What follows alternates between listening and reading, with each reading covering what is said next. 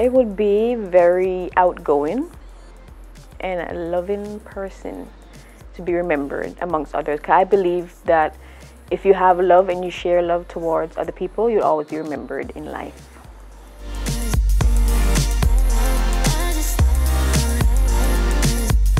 I would open my own business.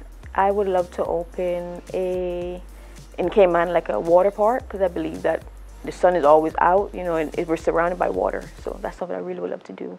Another thing is I would also love to give to the community. Yeah, that's what I love to do.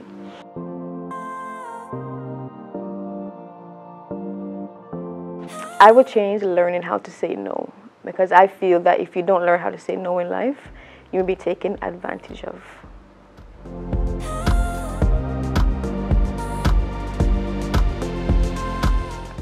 Think my fun, outgoing personality makes me stand out.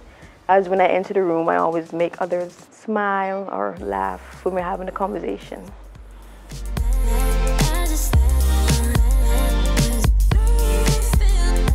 I would love to have some peppers. I really love the chicken wings, the sweet and spicy chicken wings, my favorite, with the ranch dip.